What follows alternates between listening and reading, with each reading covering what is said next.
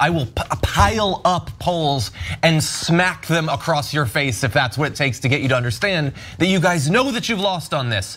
You can go back years, decades. The people have never been on your side on this issue. We are obviously worried about other rights being stripped away because you are supportive of a group of Christian radicals on the Supreme Court using the Bible in place of the Constitution to decide what our rights should and shouldn't be. So yes, we are worried about the future by design. You want it to be the hellscape that we're worried about. But we're also justifiably worried about the abortion thing, which we are winning on, obviously.